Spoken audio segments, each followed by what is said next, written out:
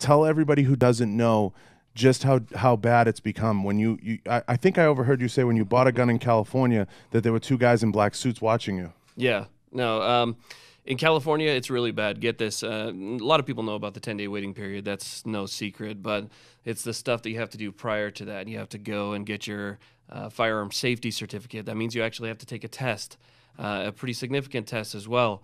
You have to get that firearm safety certificate. Then you have to demonstrate safe handling of the firearm before you can even get it. That's after the 10 day waiting period. So you purchase it, you give them your money, the transaction goes through, the background check, you have your certificates, everything you need, and then you have to uh, basically show that you know how to use it prior to leaving the store. So it's a pretty lengthy process.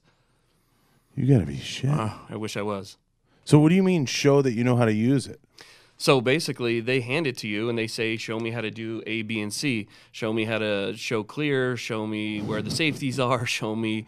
Uh, and no joke, show me where the trigger is. And that's in the store that that That's happens. that's in the store, and they have to sign an affidavit that they watched you do it. Oh my! I need a minute. I gotta sit back for this. Yeah. I need more CBD oil. Yeah. So everybody knows about 10 day, but not everybody knows about everything else.